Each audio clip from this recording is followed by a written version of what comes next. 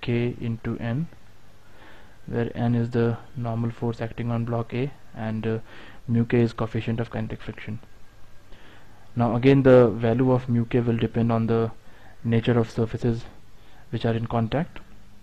So for a given pair of surface there are two value of coefficient of friction. One is mu s which is uh, coefficient of static friction and uh, mu k which is coefficient of kinetic friction. So now if uh, if we write the equation of motions for block A we can write that F minus Fr is equal to ma where uh, m is the mass of block A and A is the acceleration. Generally the value of static friction is slightly higher than the value of kinetic friction.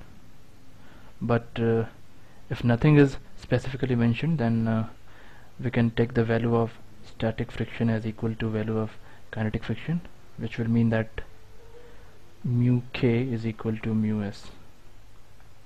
That is coefficient of kinetic friction is equal to coefficient of static friction. Now let's see what is the total reaction force acting on a surface. The total reaction force acting on a surface is the vector sum of normal reaction and the force of friction acting on the same surface. So suppose there is a block which is kept on a surface and the block is moving in the left hand direction so the force of friction acting on the block is Fr which will be in the right hand direction and the force of friction acting on the surface is again Fr which is acting in the left hand direction. Now here n is the normal reaction acting on the block. So the total reaction force that is S which is acting on the block will be equal to vector sum of normal reaction that is N plus friction force that is Fr. Now if the angle between normal reaction and total reaction is lambda then this angle lambda is called angle of friction.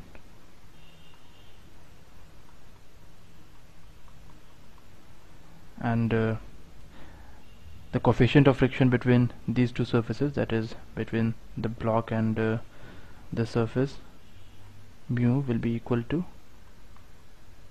tan lambda Now we will see how to find the direction of friction force. To find the direction of friction force which is acting on a surface which is in contact with some other surface, first we'll assume that the surfaces are perfectly smooth, that is, there is no friction between them. Then we'll see that what is the possible direction of relative motion between them.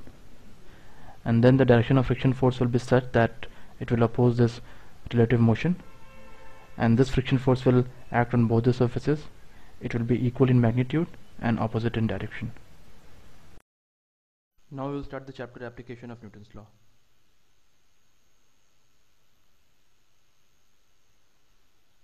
So first we'll see a typical pulley system and then we'll discuss how can we apply the Newton's law in a pulley system.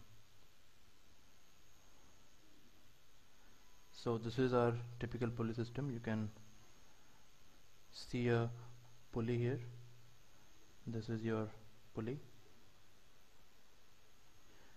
around which a string is attached. This is string.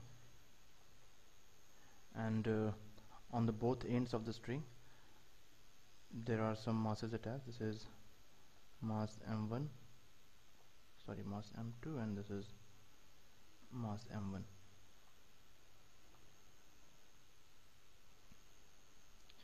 so this is our typical pulley system.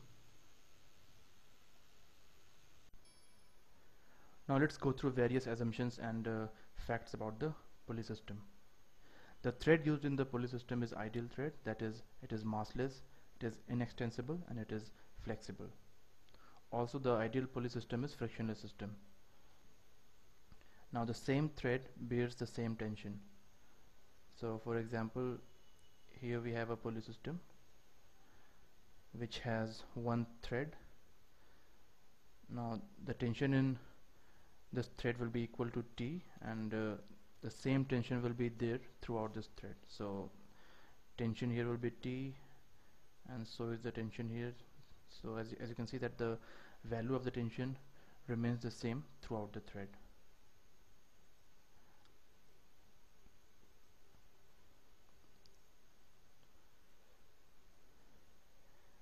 now in any part of the thread the tension is applied at both the ends and towards the center of that part. So if you take if you take any part of the thread suppose we take this part. So this is the part of thread that we have taken. So the tension will be applied at both the ends. So a tension will be applied at this end as well as at this end and the direction of tension will be such that it is directed towards the center of this part. So tension T will be applied at the end A and the tension T will be applied at end B. As we have already we have already seen that the same tension runs through the entire thread so the value of tension will be same and this tension force will be towards the center of this thread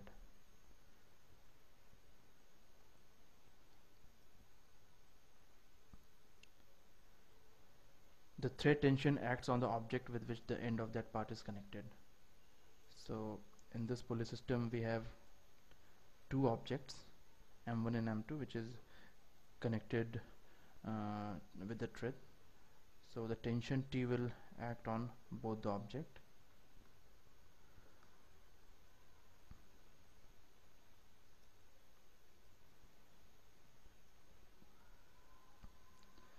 the thread is inextensible so the total thread length remains constant.